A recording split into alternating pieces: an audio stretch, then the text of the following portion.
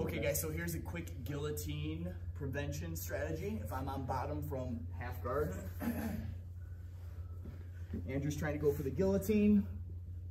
He either cranks from here and tries to finish me, or maybe he drops to his hip and pulls me on top and then finishes me from there.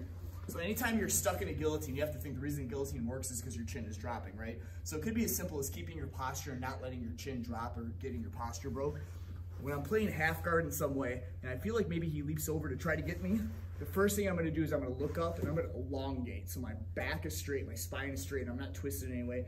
And in fact, instead of grabbing his wrist, I keep my arms down. Now from here, because he dropped his hip, I'm gonna just follow him over. So my legs are gonna kick. My bottom leg pulls, top leg kicks. My arm here is sort of pinning his leg so he can't escape it. So as I kick, push with this arm over. You can see he's falling. Then this leg that escapes, come on top, reposition, whether you get out of the guillotine or the half guard, you may not get it clean, but at least you're not getting choked. So again, from bottom, half, I'm playing in some way, he leaps over, my arms go down, my head is up, push, this leg can help me get up, over, and out.